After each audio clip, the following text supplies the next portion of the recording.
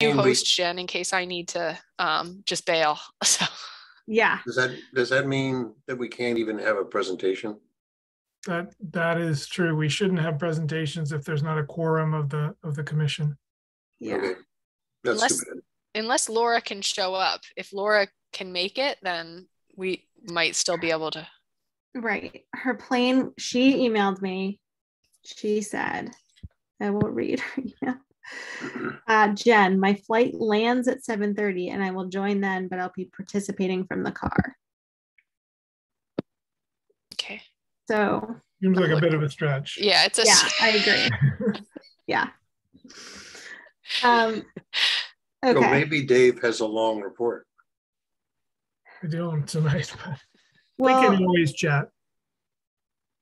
yeah. So let me just get this started. then we'll announce what's going on. So, welcome to the October 12th meeting of the Amherst, Massachusetts Conservation Commission. Um, I just want to announce at the top here, I see we have four people in attendance. It seems like we are not going to have a quorum for this meeting, um, which means we don't have a majority of the commissioners and we can't hear anything on any of our hearings. So all of the hearings scheduled for tonight will be continued to our next meeting, which is on October 20, 12 plus 14, 26. um, so two weeks from tonight. Um, so I'm sorry about this. This was unanticipated. Usually we have a good idea what's going on, but um, we're we're struggling here. COVID has hit the commission. So um, yeah, we're sorry about this, but please tune in again on October 26th and look for the agenda posted online before the meeting for the timing of the hearings.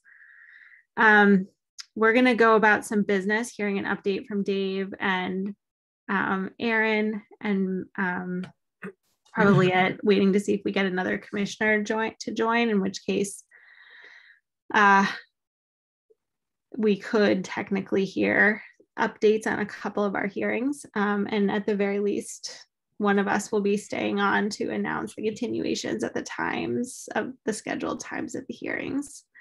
Um, but just to let attendees know what's going on. Very unlikely at this point that we'll have any content in any of the hearings tonight. We're likely to continue all of them. Um, so with that, that is my update. um, Dave, would you like to go ahead, give us any update? Sure. I wish I had more, more content tonight. Um, but a couple of quick updates for the commission and, and again, if, if there's airtime to fill, we can, please feel free to ask me questions, um, around the edges. So, um, you know, just to remind the commission and anyone in the audience that we are rededicating the Emily Dickinson Trail this Saturday, uh, the 15th at 10 a.m. at Groff Park. Uh, this is a collaborative project with the Fort River uh, Watershed Association, as well as the Connecticut River Conservancy, the U.S. Fish and Wildlife Service. There has been two um, new kiosks installed uh, at either end of the Emily Dickinson Trail. There will be eight to 10 new uh, QR code posts, if you will, stations along the trail that um, have been permitted by the commission. And those, um, each one of those stations, those, those places for folks to stop and ponder the Fort River will include additional information if you follow the QR code on everything from wildlife, fisheries, um, uh, geology, and, and many others. So that's 10 a.m. on Saturday down on the lower level of Groff Park, um, right at the, the trailhead at the Emily Dickinson Trail. So that should be exciting. I know that Mindy Domb, our state rep, uh, the chair of the um, select, excuse me, the president of the, I almost said chair of the select board, the, the president of the council will be there as well as uh, our town manager. I am going to be out of town, so I, I will not be there, but um, anyone else is welcome to attend. Let's see. Um, a project that the commission um, permitted some time ago uh, will be getting underway later in October. This is the culvert, the crushed culvert replacement at the the um, uh, Plum Plumbrook Pond. near the Kestrel office. We have bid that project out and we have a successful bidder from um, Belchertown who will be doing that project. This is, uh, there's two crushed culverts on one of the um, um, um, uh, inflow streams to the, the pond. And so we're really excited to get this work done. They'll be, of course, um, working with Erin on a pre-construction meeting, uh, working with the Kestrel Trust and, and us to make sure that, you know, there'll be a, a short disruption in the use of that trail, probably three to five days that people will not be able to make the loop. But um, it's a wonderful project. And those culverts have probably been in there since the 1960s and water damage and, and filled with sediment and probably beaver damage as well. So, and rust and, and everything else. So it's great to get those out of there. The, uh, the final treatment over that small stream will actually be a bridge now. So the two crushed culverts will be removed and a nice walking bridge. So um, another way to kind of enhance the uh, Plumbrook Pond. Uh, Dave, sorry, I see that Mark just joined the meeting and he is the 47. I think he's the applicant's representative for 47 Olympia Drive. Mark, um, I don't think we're going to have a quorum tonight, so it's likely we're going to have to continue until our next meeting on October 26th. Um, we're doing some commission business and waiting to see if one additional commissioner joins, in which case we could at least have a presentation on the project. Um, but this will be a continuation no matter what at this point. So Mark, I just wanted to let you know about that. Um, thanks. Sorry, Dave. Sorry for the interruption. Sure. Um, the only other quick update, I know that the land use policy rules and regulations is working its way through the commission. It might have landed with me. Erin might be able to chime in here. I know she and I have not connected this week and likely won't. Um, but early next week we will, and we'll get that moving out through the commission again. Um, I think it's in pretty, you know, pretty good shape. Lots of good, good uh, comments from the ind individual commission members. Um, I will say that um, two things that came up this week that I think are, are relevant are the issues of kind of reoccurring, reoccurring events uh, or events where say we have a relationship with, you know, as an example, with Kestrel Trust, um, you know, for them to do educational programs around Plumbrook Pond. Um, it seems rather inefficient and probably foolish to have them come through and say, you know, we want to do saw-whet owl banding every year and have them, you know, come through the commission, take your valuable time. We could be spending on kind of other other priorities likewise, the Fort River Farm, you know, uh, community gardens, if they want to have an event down there. So there, you know, as we talk more about land use, I think there are a couple of options. One is to go, as Michelle may have recommended, um, toward MOUs with these these organizations that have long-term relationships with the town through the commission and the and the staff. The other option is that there are, I think, certain cases where kind of an administrative approval uh, might be fine. It, you know, if there are just, you know, no impacts, you know, somebody wants to come out and do a, a one-time plant survey um, and, and they, they need to, you know, they need to get on the land quickly because the plant is going to flower or whatever. I'm kind of making this up as I, as I go along, but you get my, my drift here. So I think we can talk about that in the in the context of land use policy. So um, I think um, we'll we'll keep that moving through. Um, there was another, yeah, there was another thing that came up this week, which was interesting on land use. Since we have a couple of minutes, a gentleman came into my office and asked about asked about trapping, which is interesting. Is somebody else join us or? Yeah, uh, Alex had a question. I just didn't know if oh, it yeah. was on the past comment, mm -hmm. past topic or not. Oops, I think you're muted, Alex.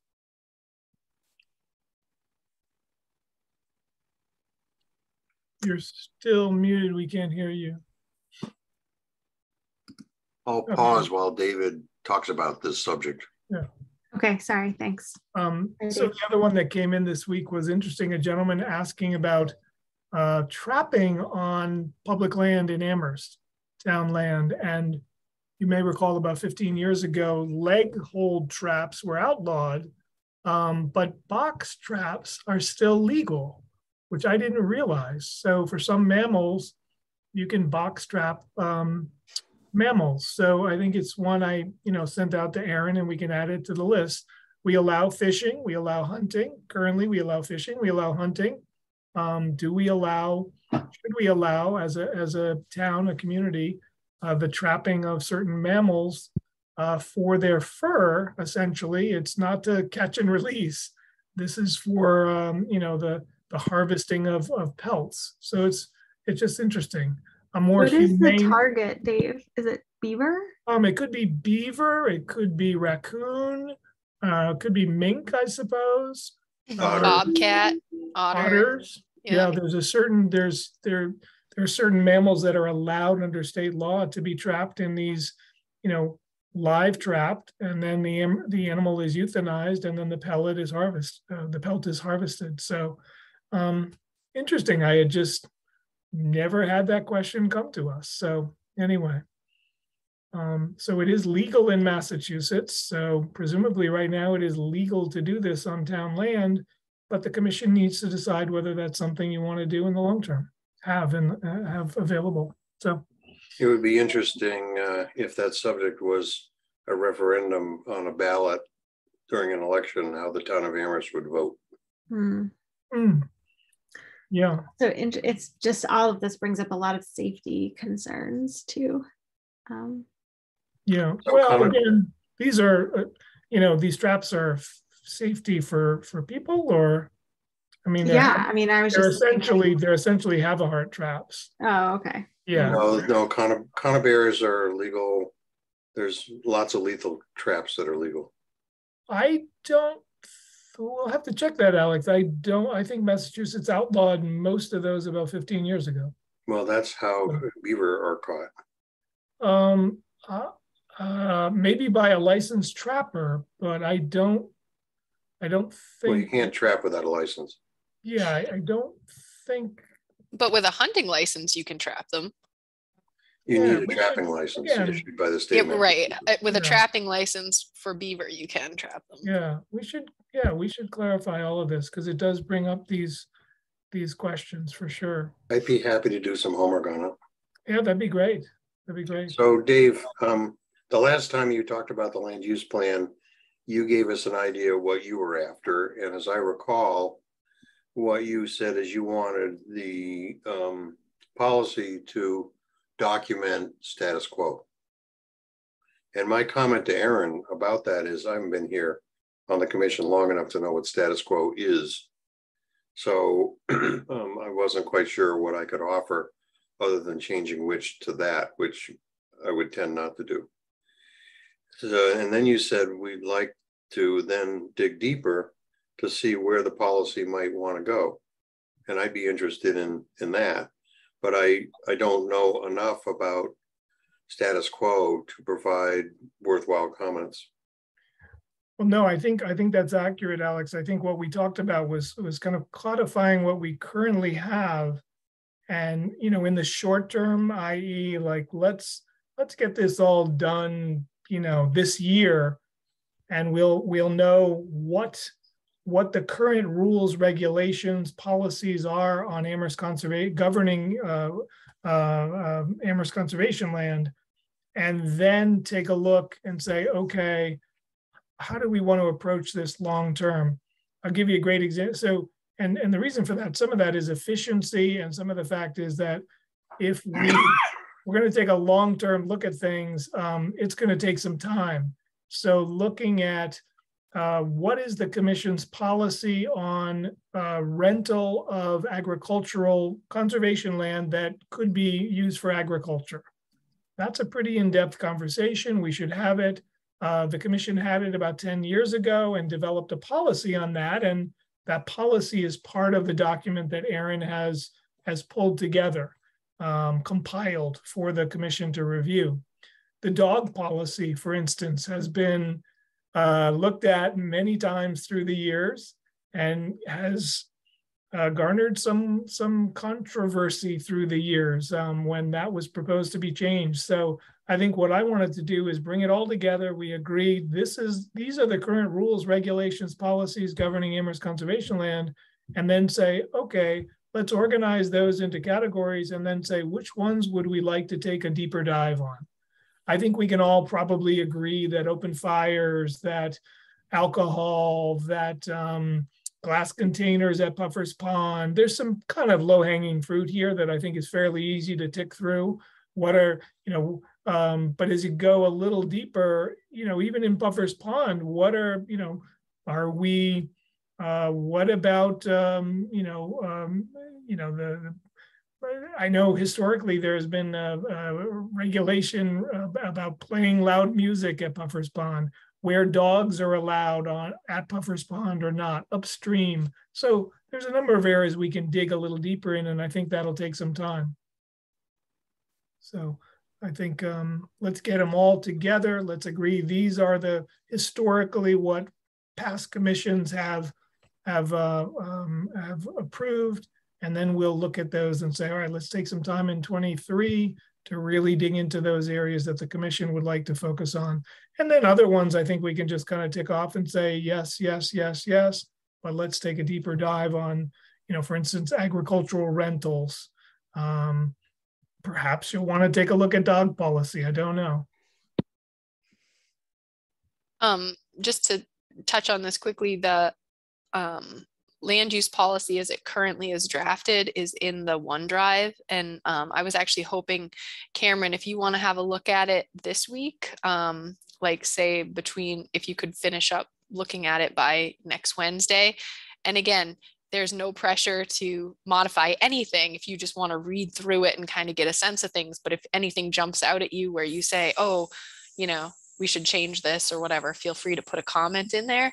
And then once you finish up next Wednesday, um, if you have any changes, let me know. If you don't have any changes, let me know. And then Alex can have a week to have a look at it before our mm-hmm. next meeting. Um, yeah, I did look at it before this meeting, but not oh. in depth for edits. So I'll continue that. And Carmen, don't hesitate just because like this, Alex, this goes for you too. I mean, so Dave is saying like, let's get this in writing and get it done. And then we'll come back and revisit some of the issues that either haven't been revisited a while or tend, you know, tend to come up often. But again, you guys have fresh perspectives, which we could really benefit from. I mm-hmm. mean, we've all been, you know, or a lot, or I guess I have been here for a while. Fletcher's been here for a while. Dave's been here for a while. So if you have fresh perspective, um, it's more than welcome. Um, so do not be shy, certainly. And Alex, I can tell you're not shy. So it should be it should be kind of it should be fun. I mean you know there's some yeah. some interesting and complex issues. You know camping you know years ago the commission allowed camping on the mount holyoke range with a permit. Hmm. Weddings on mount pollux were allowed with with with a permit if you will and rather large weddings so there's there's all these areas to kind of dig a little deeper on. And um, fees do we charge fees for certain activities on conservation land things of that sort. So i think it should be i think i think it should be fun um, and and really kind of challenging to intellectually to kind of go through these things and figure out what and we can also talk to other communities and see what's worked in other communities um, and what hasn't worked. So. Yeah we're so unique in the amount of conservation land we have. It'll be interesting to try to find an analog. I mean, mm-hmm. well, there may be there may be things that we do that are similar. For instance, there are a number of communities in Eastern Mass that actually um, lease out a lot of their land. I'm thinking Lincoln, Sudbury, mm. um, um, uh, Natick, Newton, Needham, um, in that area. Oh, um, really? Okay. There's a lot of farms uh, that that really operate a, a 501c3 on conservation land, hmm. and that land is basically leased to them long term and has hmm. been for years. So, you know, what are some of the models out there that um, that we think might might work here in Amherst? So yeah, that's great. Um, I just want to make an announcement really quick. Uh, if you're here in attendance for the meeting and planning to listen in on some of the hearings. I can say with a great degree of confidence at this point that we are not going to have a quorum of the commissioners for this hearing, for this meeting. So all of our hearings that are on the agenda will be continued to our next meeting on October 26th. Um, so I would encourage you to come back um, for the hearings on the 26th. 26 and keep an eye on the agenda posted online before the meeting to see what time specifically those will, those hearings will be. But if you're here in attendance as a member of the public or an applicant's representative for any of the hearings happening tonight, is very unlikely we'll have any content covered in any of those hearings. They will all be continued. Um, so just FYI. Sorry, thanks, Dave. I just don't want anyone to sit around. That's fine. Those were the only quick updates. I'm happy to take any any questions. We're continuing to do um, you know early successional management with with uh, brush hogging and um, actually field staff is taking a little much needed um, vacation right now. So for the next week or 10 days, it's a little bit slow, but uh, Brad and Tyler. The other thing I would just announce is that um, we're, we're planning to have both Brad and Tyler come in and do a presentation. Um, my goal would be to have it maybe be at the second meeting in uh, January, um, first or second meeting in January to kind of do kind of a 2022 summary of what projects they worked on, um, where some of the successes were, where some of the challenges, um, and um, we want to get them coming before you on a more regular basis. My goal would be to have them do a quarterly um, update for you in a PowerPoint uh, form talk about trail work, um, talk about other things they're working on, and and really get them a little experience um, presenting to you, and and get commission members to get to know Brad and Tyler. Yeah, I look forward to these meetings in the quieter, supposedly quieter months when things are frozen. Right. Although I feel like we didn't have quiet months last year, so maybe this year. Um, did you have a question or comment? Or Alex? Yeah. I was just going to say um, there was two items on the agenda specifically, and I don't know if Dave wants to touch on them. One was the CPA funding request, mm-hmm. um, and the mm-hmm. other was um, Dave and I had talked offline um, about.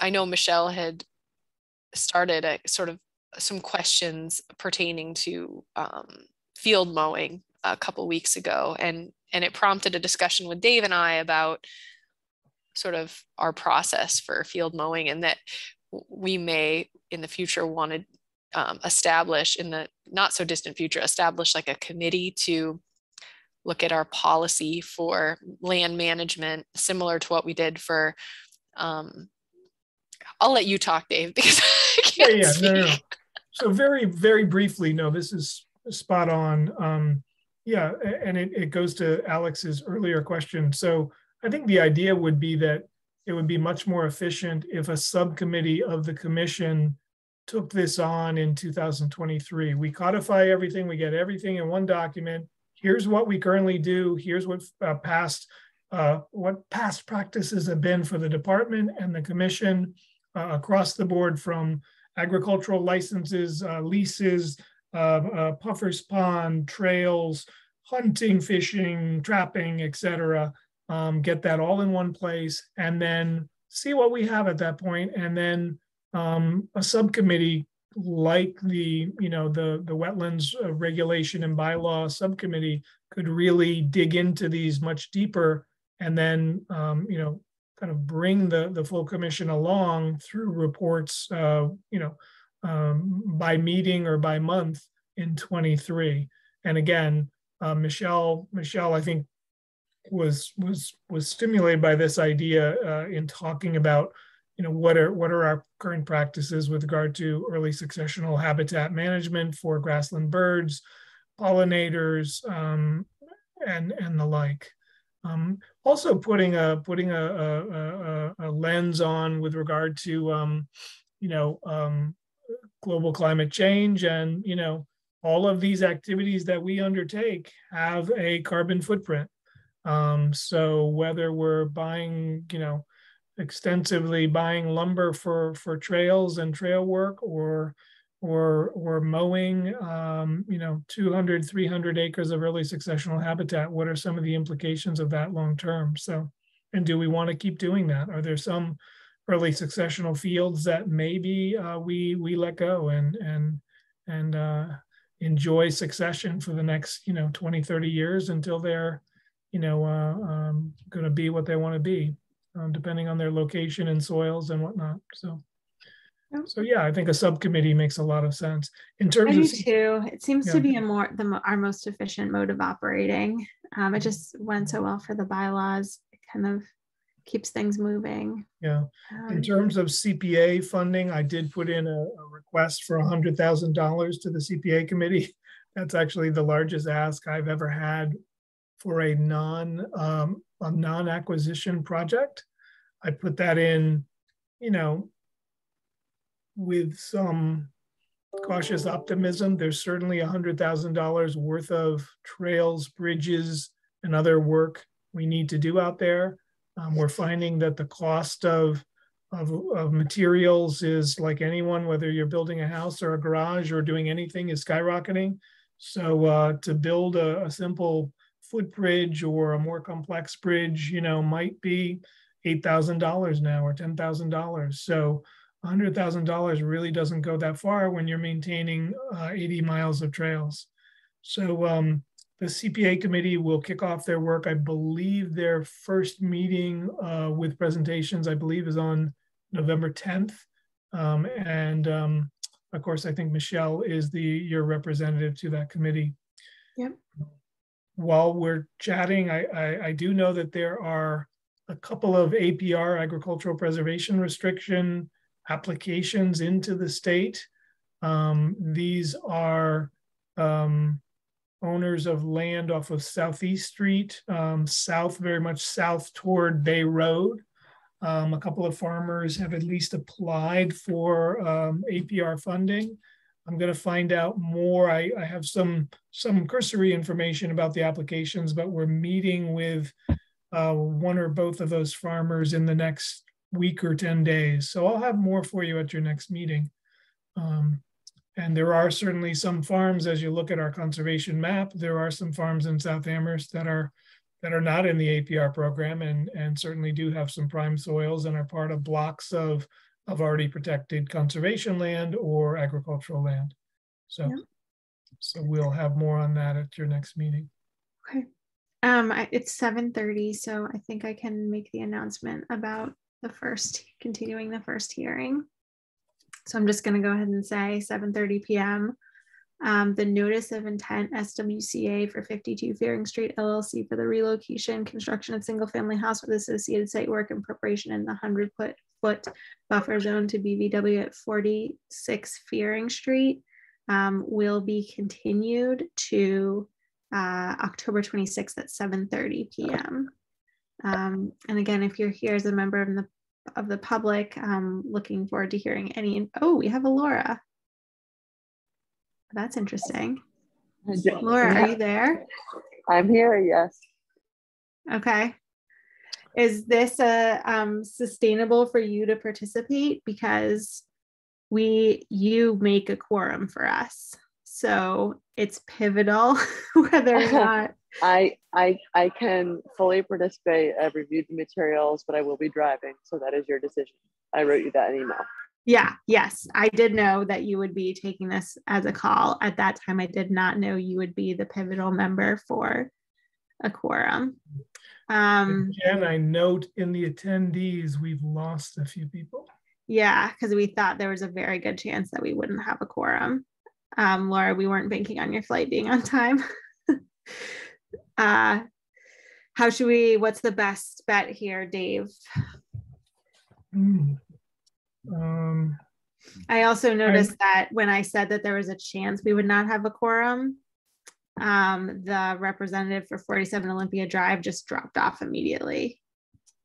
I, Oh. I would defer to Erin, but I'm inclined to continue because we have lost, you know, we had six or seven attendees. I don't know all of their associated, you know.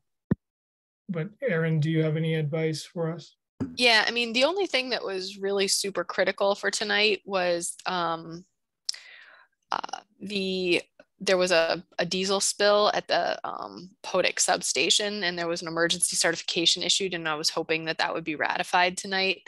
Um, I know Melissa Cody left the call. She emailed me. Um, I just messaged her and asked if she could rejoin, but um, you know, we um, we'll see if she gets the message or not. If not, um, then we can just carry on with continuances and.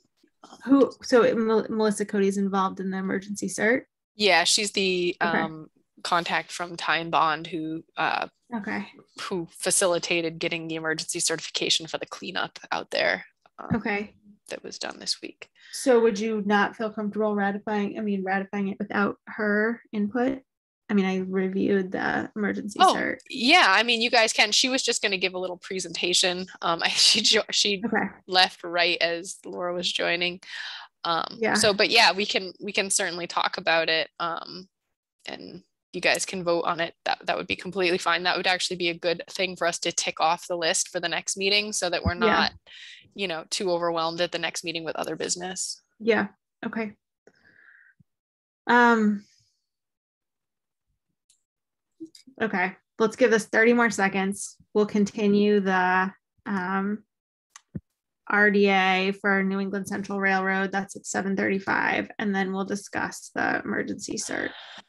Yeah, and relative to the New England Central Railroad, as long as, I mean, it's not, I'll just kind of give a little update while we're waiting for the hearing to, hearing time to approach. Um, and actually, I can give you a little bit of information on 46 bearing that um, they may be coming back to join us. I'm not, I'm not entirely sure. I know they're doing some site due diligence right now. Um, but I'll keep you posted if if any um, if any information comes in that indicates that that hearing is going to move forward. I'll I'll let you guys know right away. Okay, Um, the um, railroad project, the issue was they were trying to get around doing abutter notices. They did yeah, reach out to Paul Bockelman to try to see if um, Paul would sort of try to override the commission in terms of requiring abutter notices for the RDA. And Paul said, no, I can't do that. So um, they did request another continuation. I'm starting to feel a little uneasy with the number of continuations and this is the same thing that happened the last time we had a railroad RDA and they like never showed up to a single hearing and ultimately the commission couldn't get questions answered. Yeah, so um I do think at some point and maybe tonight's not the night but at some point we should say okay kind of enough's enough with the ongoing continuing continuations and that at some we- point a decision needs to be made i think. And we've done this before. Yeah, not and i don't mean a decision on the application. I mean a decision relative to the public hearing like are we going to require a republication of the legal ad and tell them you need to notify abutters and then we'll reopen the hearing from scratch? Or you know something to that effect as opposed to voting on the rda because it's technically not even really a public hearing if they the abutters haven't been notified. Yep. Yeah, so let me go ahead and continue that hearing. So um, the seven thirty, the hearing, the request for determination scheduled for seven thirty-five PM. Keith Morris on behalf of New England Central Railroad Company for verification of sensitive area locations along the New England Central Railroad right-of-way. Um, it's the right-of-way extending from Leverett to Bel- Belchertown. That hearing will be continued for now um, till October twenty-sixth at seven thirty-five PM. So Erin, do you want to just, do you have the energy to give us an overview of that emergency cert for the diesel spill? And we could at least, Yeah, um, let me bear with me just one moment and I'm gonna pull up the um do the you want me to share something? Um, no, that's okay. I'm Okay. if if I have a an angry baby that wakes up, I'll jump off, but I think I'll be able to get just a view of what's going on here for you quickly. Okay. Um,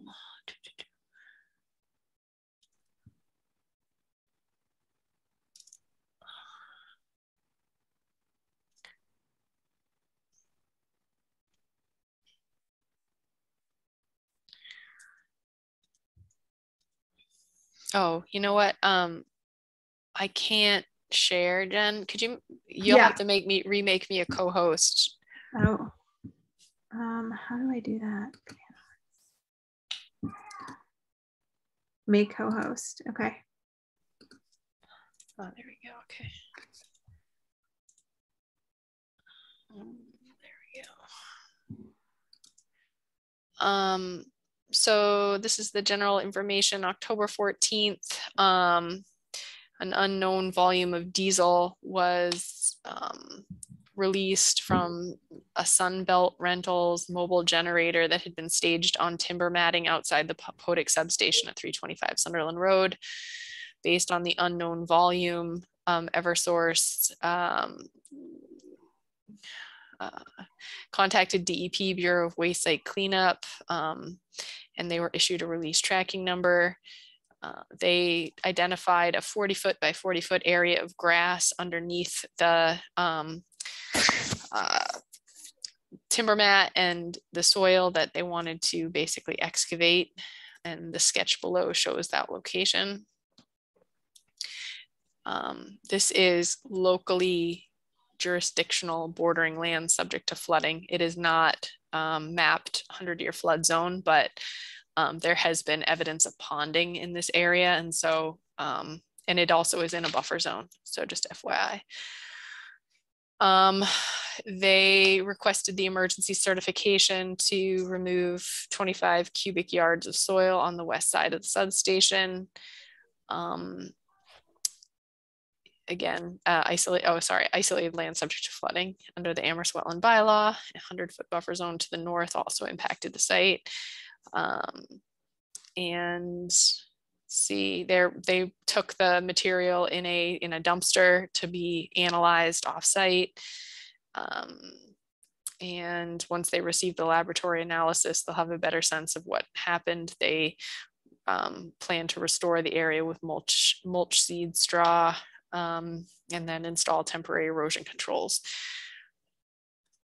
And that was basically the reason for the emergency cert. And so the emergency cert was was granted to Eversource for 325 Sunderland Road. I signed it and it just needs to be ratified um, by a motion and vote of the commission. I'll make a motion. Yeah. Jen, do you want me to make a motion or do you want discussion? well, so Laura, what you can't see is that Laura, we just lost Laura. Um, I don't know if she lost her No, internet. I, I'm we- here. we Lost Jen. Yeah, Or I'm sorry, no, we lost Jen is what I meant to say. Sorry, we lost Jen.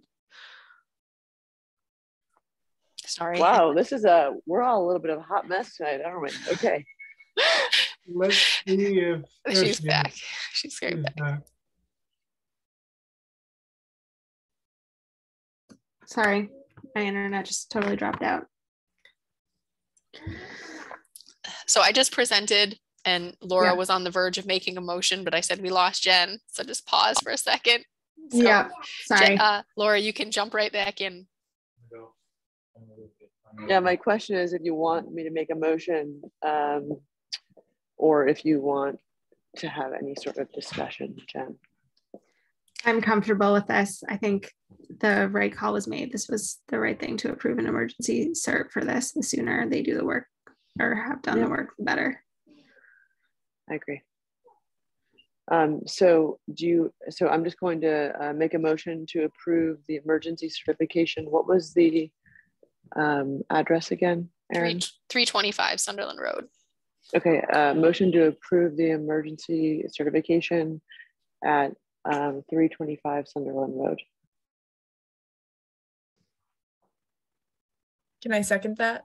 Yeah, thanks, Cameron. Seconded. Voice vote, uh, Alex. Oh, you're muted, Alex. Sorry. Aye. Cameron, Aye. Laura, Aye. and I'm an aye. So that's unanimous with Cameron, Alex, Laura, and Jen. Wonderful. And I do see that um, Jeff Squire has joined from Berkshire Design Group. So um, this is, and again, for those of you who don't know, I'm home with COVID. I'm not prepared. I, am not prepared because I have been out of the office. Um, And um, so if the presentation goes forward, I'm just not prepared with an um, conditions for an order of conditions tonight. But uh, definitely if the commission would like to um, review Jeff's responses to the commission's questions from the last meeting and then close the public hearing, we could be prepared to issue the order at the next meeting. Okay. Um, let me bring Jeff in. Uh, can I do that? Uh-oh. Did I lose my co-host status? Let me re-enlist you. I think when you, I'm gonna. Yeah, I dropped off. Okay. All right. Jeff, I'm going to bring you into the panelist.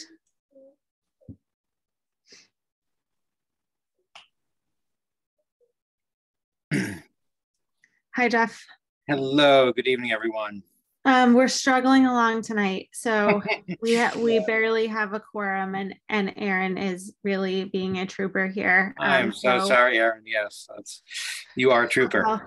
apologies in advance. Um, if she wasn't already the best wetland conservation commission wetland agent in the history of the universe, then she definitely is now. Um, so Jeff, Yes. I think the outstanding question. So, as Erin just said, we're Yep. not prepared to issue an order of conditions, but we could close the public hearing on this and issue an order of conditions at the next meeting on October 26th, if that's okay with you. Sure. Um, I think the outstanding question was um, kind of a line of query from Commissioner Alex, who is here, and that Mhm. was um, why did the lean-to have to be on that side of the house? Why is it the proposed size Yep. um, that it is? So just along the lines of kind of minimizing um, that impact as much as possible. If you could just fill us in on that, that would be great. Sure. And there were, I think, a couple of other, um, you know, questions or comments that I, at least I had in my notes that I'd be happy to talk about, um, you know, particularly with the um, owner's willingness to spot treat some of the autumn olive and invasives as oh, a, that's you right. know, as, Yep. a, as a form of treatment for those invasives um, was certainly one. Um, and so that, yeah, I spoke with them. They're certainly willing to, um, you know, to do that and, and Okay. you know, do that as part of the plan. Um, and then if I can, I do have, I did do a quick sketch showing what a lean-to would look like on the other side of the house and show the additional impacts. You know, I think the, um, and I'm happy to share those with you if you want to give me sharing capabilities, but in general, um, the, um, you know, combination of a couple of things, the setback, the 15 foot setback is, is pretty tight along that edge of the property. Um, so the lean-to, you know, barely, if not, you know, exceeds the, the setbacks on that side. Um, plus getting a driveway across the front of the, you know, front of the property or, you know, somehow else into the lot or into that side of the house creates an additional, I don't know, 580, 600 square feet of disturbance within the buffer zone. And so, um, again, if I, yeah, I, I don't know whether. You should be able to share, Jeff. You're a I, yeah, I don't seem to be able to, to share. At the risk of asking a dumb question, is there a green button at the bottom of your screen that says share screen? And Yep, when you press it, nothing happens? Just host disabled Oh, participant. oh, oh, I figured it out. Here we go. There we Oh. are. Look at Oh. that. Perfect. Okay. Okay. So this, um, if everybody can see this plan, this, this was the, you know, what, what is proposed. This plan shows, uh, if you can see in red, that same lean-to structure on this side of the house. There's a couple of bump outs, uh, chimneys and other things that sort of complicate things on that side. This is the 15 foot setback that you can see. So there's a little bit of an encroachment with that. You know, they need at least a minimum of eight feet to be able to get a, a boat in there. Um, then additionally, they would need to get an access, you know, route in there somehow. And seeing as how buffer zone extends almost entirely across the front yard, you know, there's an additional 500, 550 square feet of disturbance. And, you know, in, in all, you know, honesty, this location across the front yard, right next to the neighbor's house, just isn't really the most appropriate location for it. This is really sort of out of sight, out of mind. Um, recognize that there are wetlands there, but um, you know this area is already you know lawn and and was was previously disturbed. So you know I think you know to be honest, there's probably less disturbance and less um, disruption with with this site versus you know versus all of this um, on the other side. So plus the addition of winterberry holly and native to act Right. as a little bit more of a buffer in the drain. So for me, the addition of you know plus or minus 300 square feet or no, what is the driveway is 550 square feet. right, That for me justifies putting the lean-to on the other side of the house. But I'm interested to hear what other commissioners have to say or any outstanding questions.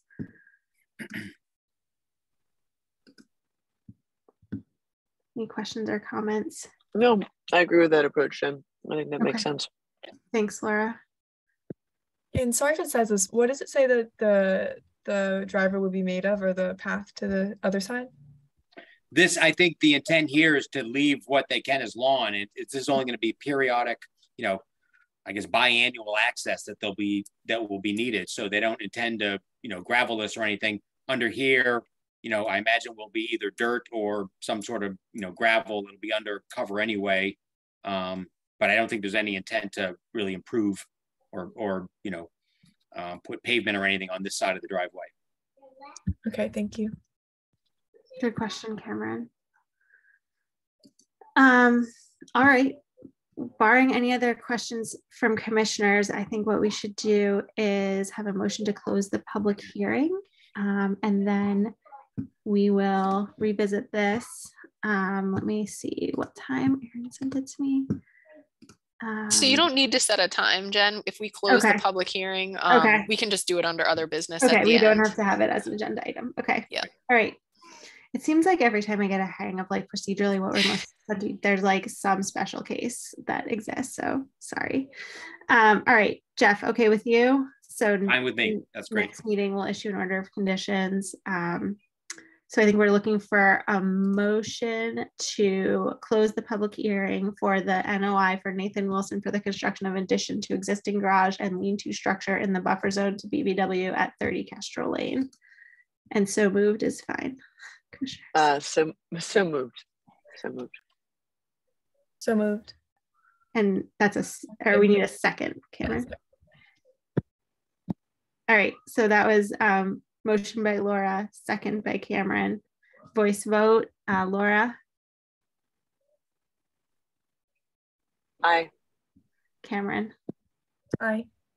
Alex, Aye. and I'm also an aye. So it's unanimous. Um, and Jeff, we will issue that, that, those, that OOC at our next meeting on the twenty-sixth. Okay, that's great. I appreciate everybody getting to this and uh yes, best of luck, Erin, and I hope you feel better. Thank you. Thank you. Thanks, everyone. Good night. Good night. All right. Um, in a fun wrinkle, we also have Mark back. Mark, if you can hear me, we have a quorum. Um, so 745. Oh yeah, we're good. Wait. Ugh, what's the last one? 750. Okay, so we just need um, to continue the NOI, right, Erin, for Wood, Massachusetts Inc. on behalf of BWC Eastman Brook. They requested a continuation to October 26th at 7:40. Do you want us to do a vote on the continuation? Okay, commissioners, we need a motion to continue the NOI um, for the battery energy energy storage facility in the buffer zone to BVW at 515 Sunderland Road to October 26th at 7:40. And um, so moved is, So, so moved. and now we need a second, Second. seconded by Cameron, voice vote, Cameron, Aye. Laura, Aye. Alex, Aye. and I'm also an aye. That's unanimous. Um, all right, seven fifty-two. Mark, I'm gonna bring you in as a panelist.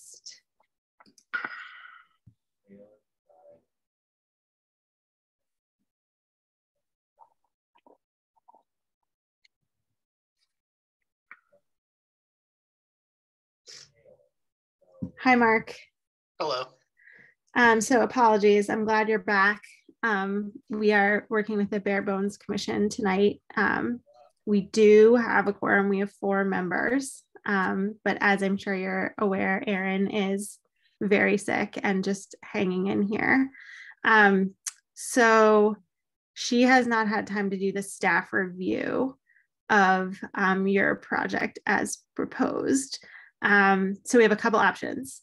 We can wait until the next meeting on October 26th when Erin will have gotten to complete a staff review. And at that point, you could present the project. We can take public comment, we can take commissioners' comments, and we'll have the benefit of Erin's full review and um, potentially more information from you to move that forward. Or um, we could kind of split that and you could do a presentation now on the project as proposed. We could take public comment, take any commissioner comments kind of off the cuff, um, but we would have to continue in order to hear staff review of the project on October 26th um, in either case. So it's it's up to you. Um, I can do a presentation of where the current revised project is, and if we could ask the commission and Erin if she can send us any comments that she has as soon as possible. That way we can work on those because I know Kyle needs to have this project in front of the planning board in November. So he's really hoping to get a vote or a letter from the commission to the planning board about this project. Um, okay. Um, okay.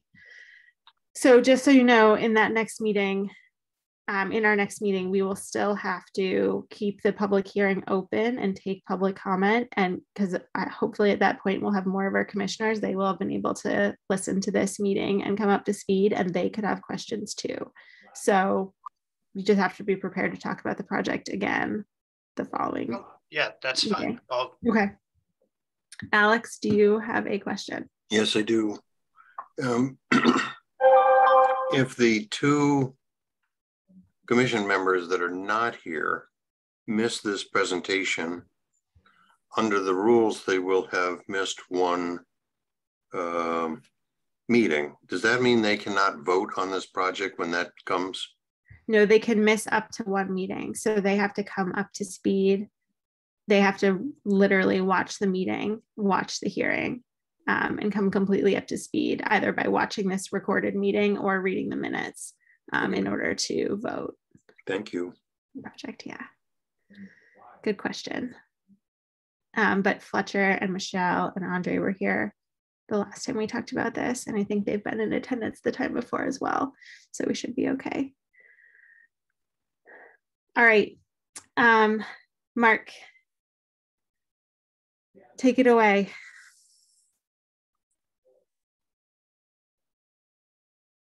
You guys see my screen?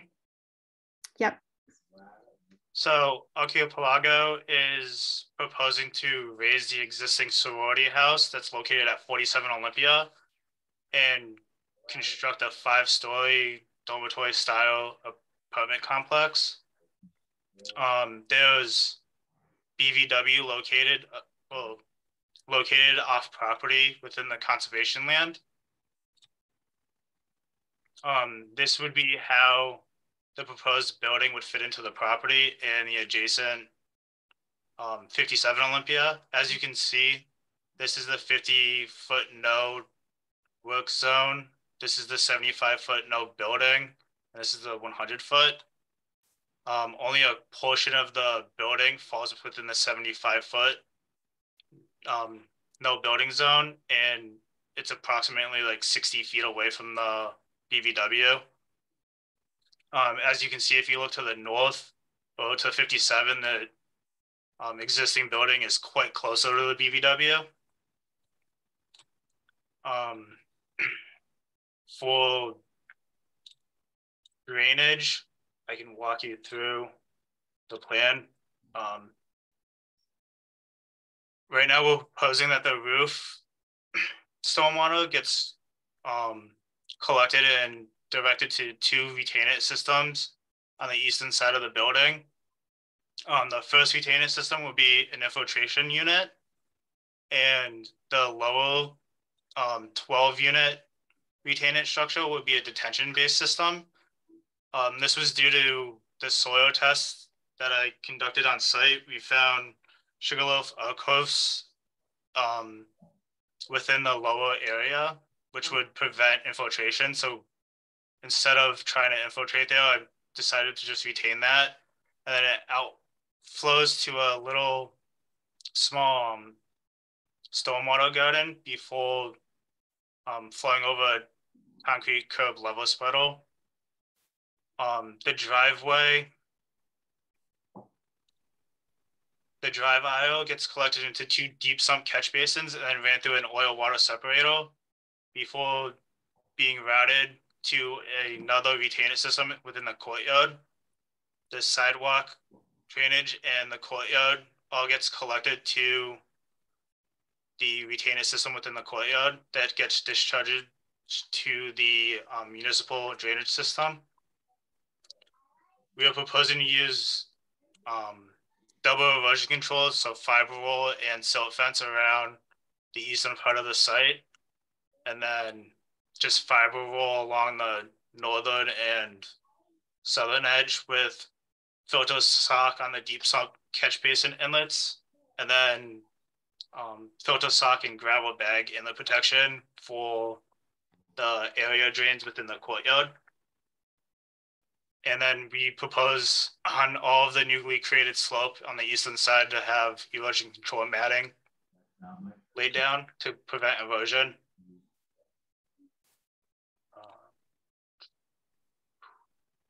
This is the proposed landscaping plan. Um, it's only a draft at this, oh, as of now, as I've made a comment to the landscape architect. Uh, but we're planning on having native trees planted and um, shrubbery planted out on the eastern side and a pollinator seed mix planted all the way on the banks to make up for the impacts to the um, wetland buffer zones. If the commission has any questions. What percentage of the BVW on the lot is being impacted by the building as proposed? By the building itself? By the proposed work? Um, the 87% of the um, post, well, 87% of the buffer zone that's on the property would be getting impacted. And only out of that, which is six, like 6,200 square feet. And of that 6,200 square feet, only 2,000 of it building. Um, so the rest of it would be replanted with the pollinator mix and with the um, natural trees, so, native trees. So just so just so I'm clear, so out of the 6,200 square feet impacted, only 2,000 square feet of that is building. The rest is plantings and so forth. Correct. Do you have a detail of what specifically, you know, what specific native plants you intend on using? And if you don't, can you provide that? Um, I believe this was sent to Erin uh, at the beginning of the week, but she's been out sick. So I'll have the landscape architect revise this again. And then we will send it back to Erin for review. But this would be the schedule of what would be planted on the eastern part of the project.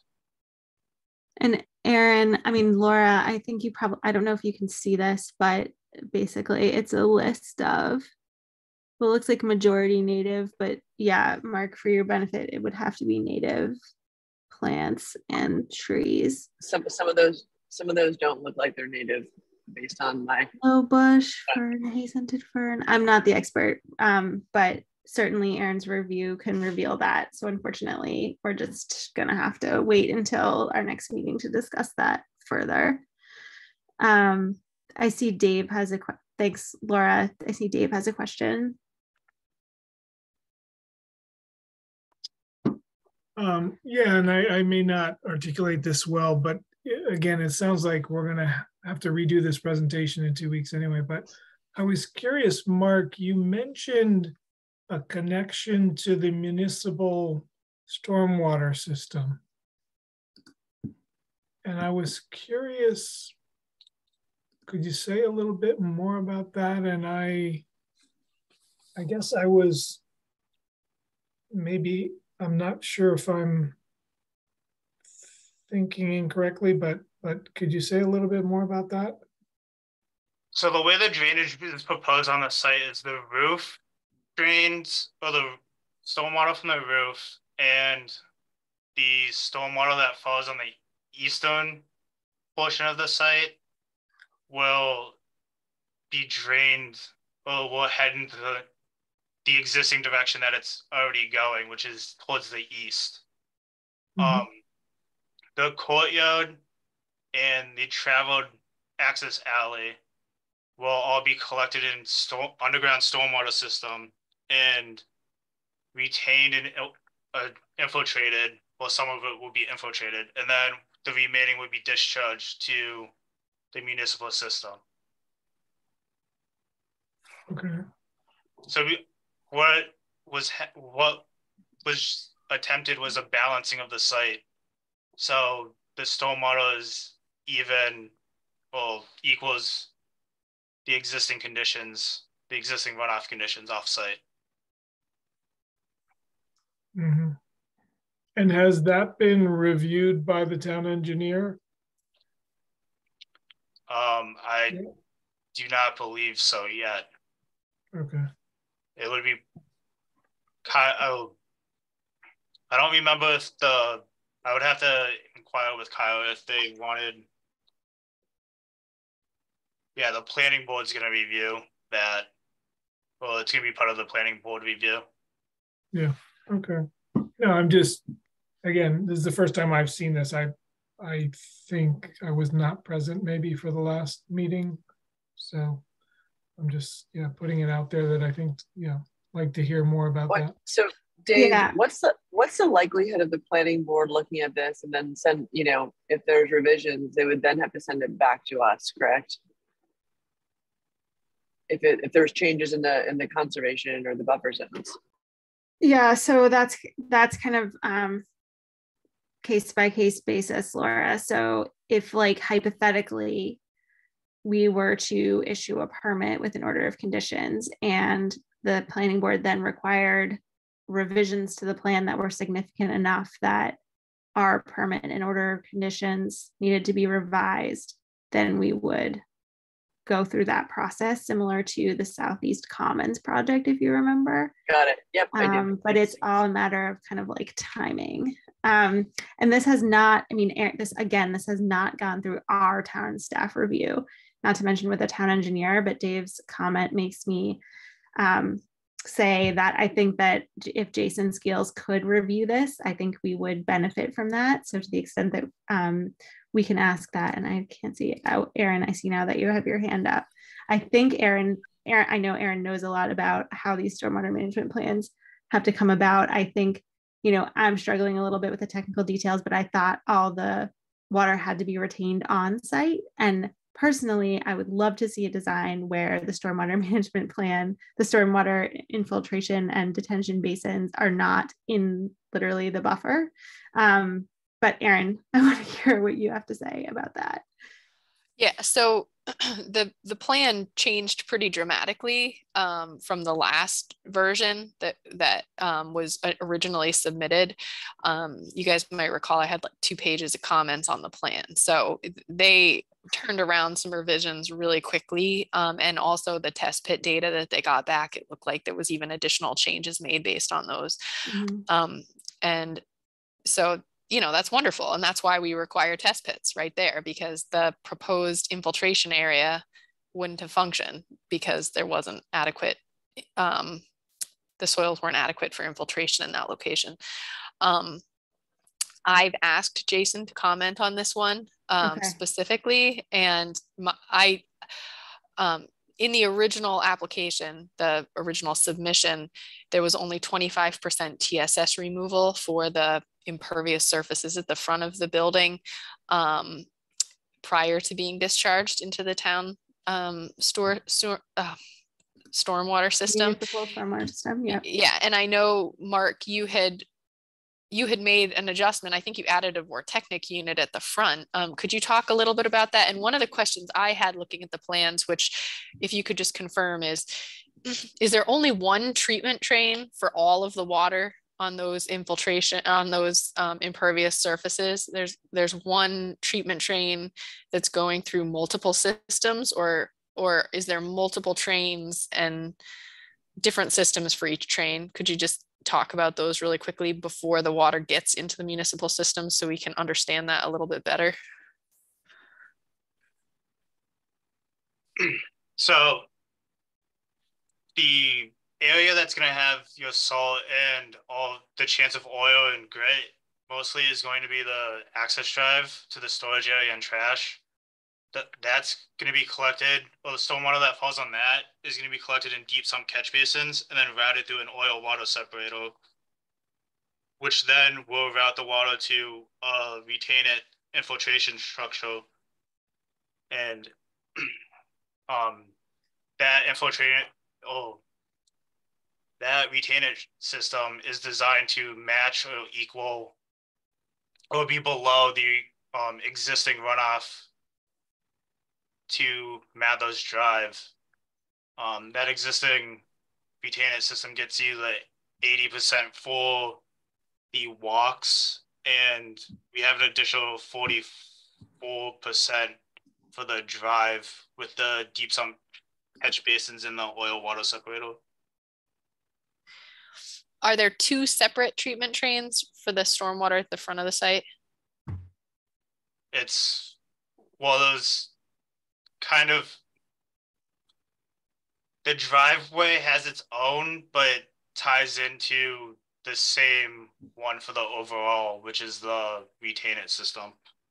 So what you're saying is the driveway catches in deep sump catches, then goes to oil, oil water, water, separator, yes, and and then that- at that point it ties into the system that captures the runoff from the walkways and the remaining part of the property. Is that accurate? Correct. Okay. I just want to make sure the commission understands sort of the drainage cycle of what's happening. Right. And then there's a separate system off the, I guess, east side of the property, which is the roof Which is drains. clean roof stormwater. Right, Bingo. which is combination infiltration and detention. In uh, and that detention basin is almost entirely in the buffer. Um, Uh, no, it's only like half in the buffo. oh, I see, I see. There's the hundred foot. Okay, yeah. Your foot's like right here. But it does drain to that stormwater. What did you call that? I can't read the writing. a stormwater garden, Yep, with okay. Yep. which is the low point of the site where the water existingly discharges from. Okay. Alex, I see you have a question. Yeah, there's uh, on page three of six. And on the, um, the north side, um, the water comes down this, um, next to the building. And as you get close to the project boundary, there's no mark on the, on the drawing that says that water is being controlled, and that leads me to believe that it's just gonna continue down the hill off the property. And could you uh, arrange for that water to come around the corner and down to, you have a storage tank or you have uh, that brown, the, the the black thing um, right next to the boundary. Yeah, right there. That's Oh. the That's Yes. the stormwater garden.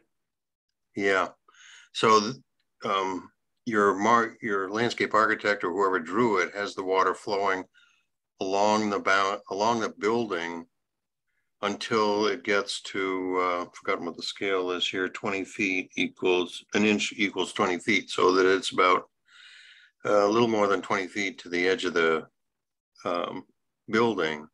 And all that water that's coming along won't be guided around the corner to the basin.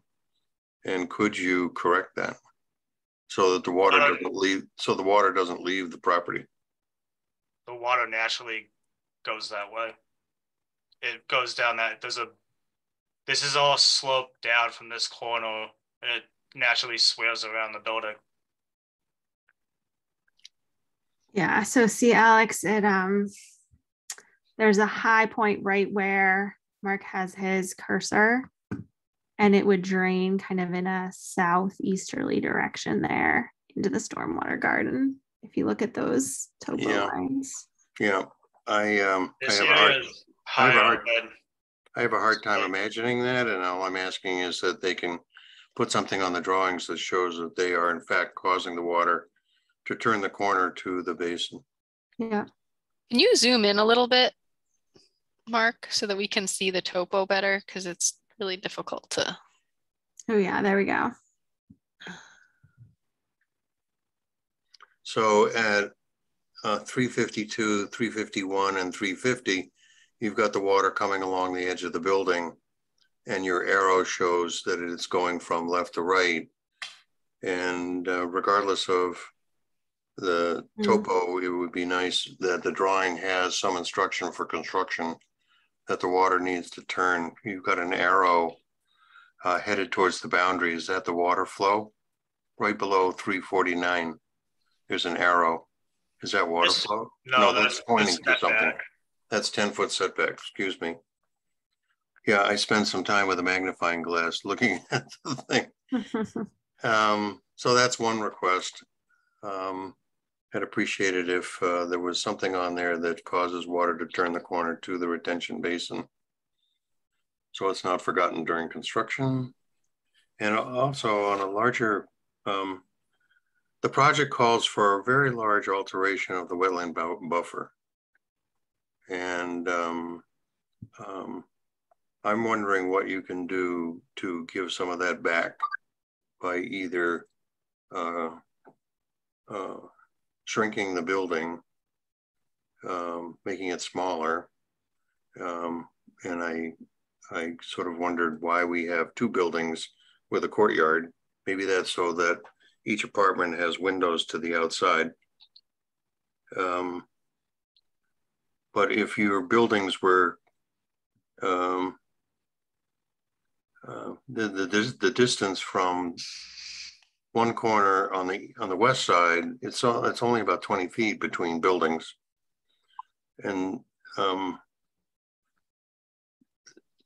so could you tell me why we, how we could give back some of the wetland buffer? And I think if I can just insert some framing of this, I think what Alex is touching on is this kind of a maximum build out scenario where, again, 87% of the jurisdictional area on the property is being impacted by the project as proposed. And so it would be great for the next meeting if you could be prepared with a little bit of kind of um, the scenario planning you did or will do in the future to reduce the impact to the jurisdictional area on the property. Um, and that's in addition to, it sounds like a lot of commissioners raising concerns about flow of water off the site towards the conservation area. Thanks, Jen. That's said much better than me. No, that's, that's, we're all pulling in the same direction here. I'm just trying to, Mark, I'm trying to give you clear, actionable um, kind of information to come back to the commission with. And Cameron, I see you have your hand up. Go ahead. Um, I had a bit of a similar question. If I'm interpreting it right, the building that's currently there, is that going to be knocked down? Correct. Yes. And that has a, a bigger portion of it up against the, uh, the, in the buffer zone. No, that's the adjacent building to the north. Okay, so, So that That- white one, Cameron, that you can see is existing and then drop down to the middle structure. That's the one that's existing and that one's completely out of the buffer. okay, so, okay, so the proposed buffer, okay, that makes sense, thank you. Yeah, good questions. But the, but Cameron, to your question, the building is going from a, a small structure outside of the buffer to a very large structure encroaching on the buffer. I think that's kind of what, what you were trying to understand. Yes, Yep. Thank you. Um, I see Kyle has a question or has his raised hand, his hand raised. Um, I'm gonna bring him in as a panelist. Um,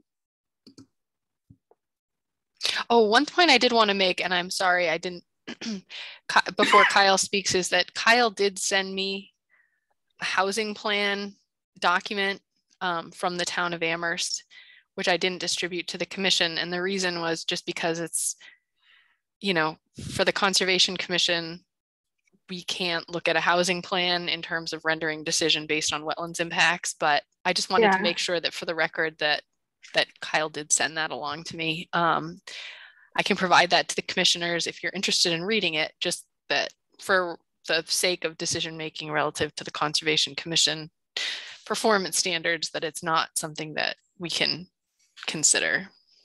And I'm going to say this in another way as well, if you'll just allow me, Erin. I think this is one of those situations where ideally we would look at this from a more holistic planning standpoint. But unfortunately, that's not the position we're in here at the commission. Um, we have to deal with our jurisdiction um, and review the proposed project with from the lens of protecting the wetland and water resources in Amherst. So that's why um, the focus on stormwater management and um, reduction of impact to the jurisdictional area on the on the site is is our main focus um, for better or worse. Uh, sorry, Kyle. Um, so I think you're here. Yep. Hi, Kyle. Did you have a question or comment? Uh, no, and you guys both touched on what I was going to speak to, which is that, you know, this is one acre within 17,000 acres of Amherst. Um, it's the one acre that is owned RF, that is privately owned, that is a tax paying parcel uh, that supports the type of housing that our community very much needs.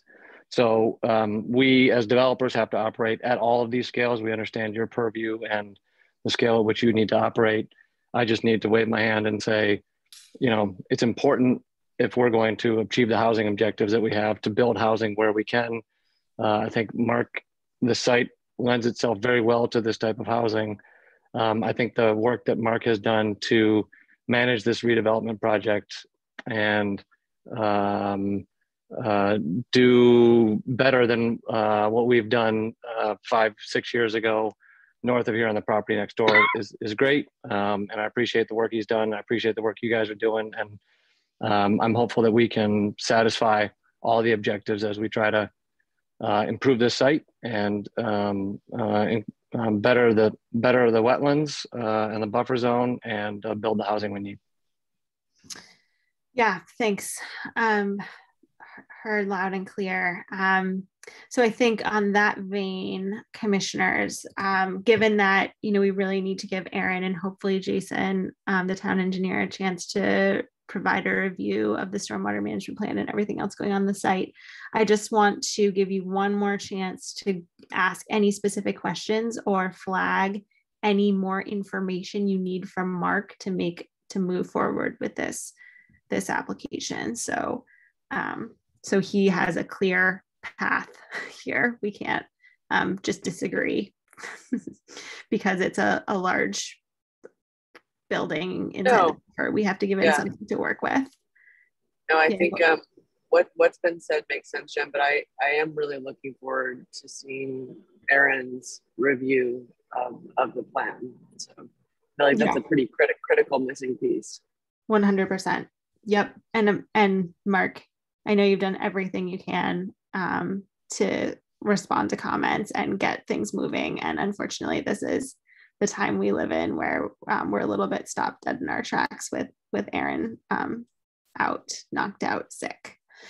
And, Um, and from my perspective, I just would like to say that we really appreciate the fast moving responses to the comments because a lot of applicants don't do that. Um, we've waited months and months for revisions with open hearings. So we do appreciate the fact that you're making a tremendous effort to respond quickly and and take the action necessary to address comments and make revisions that um, Yeah, agreed. The fact that you have, you know, percent area of jurisdictional, you know, percent of jurisdictional area data available, just the amount of detail you have on these plans, there's nothing um, left to question. It's just that we have to complete our staff review.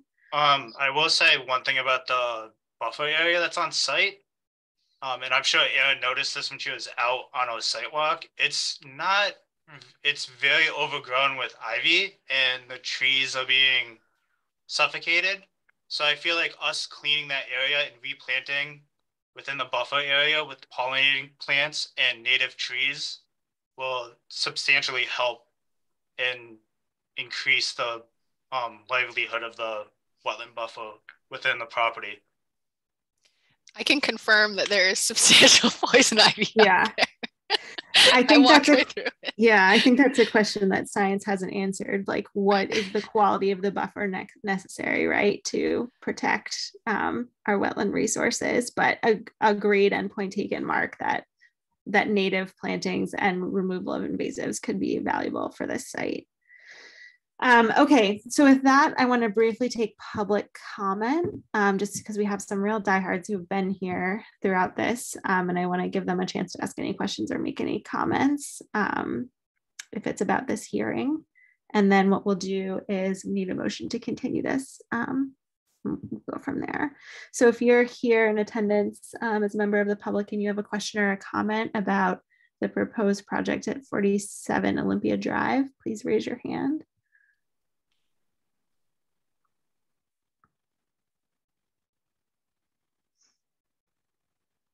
Not not seeing anything.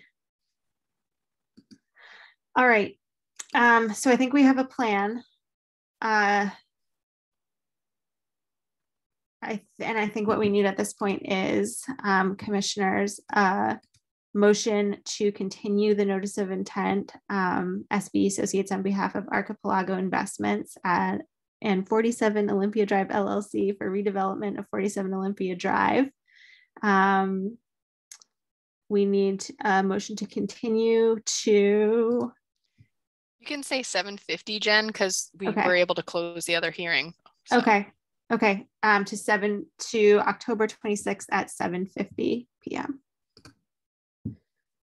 Motion to continue um, 47 Olympia Drive LLC for October 26th, 7:50 PM. Seconded.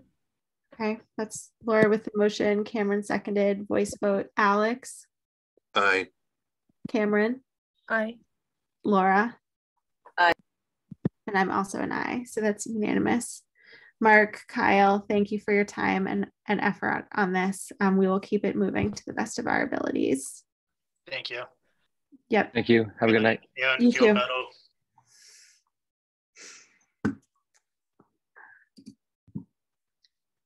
All right. Okay. So that's it um, for our agenda. I think we should call it.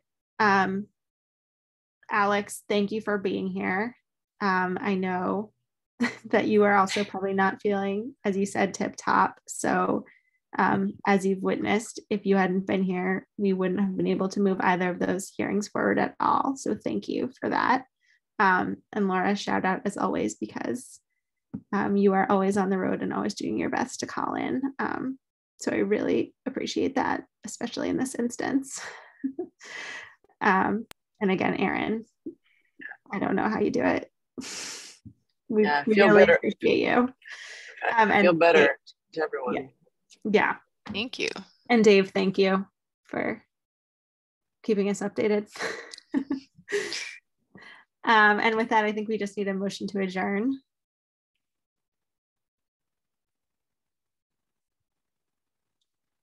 Motion to adjourn. At I second, 27, and that's a second from Alex. Voice vote, Alex, yes. Laura, Aye. Cameron, Aye. and I'm also an aye. Unanimous. Erin, get better. Thank you. I'm getting there. Get there. All right. All right. Thank you guys. Have a Bye, great night. everyone. Good night, all. Bye. Good night. Thanks,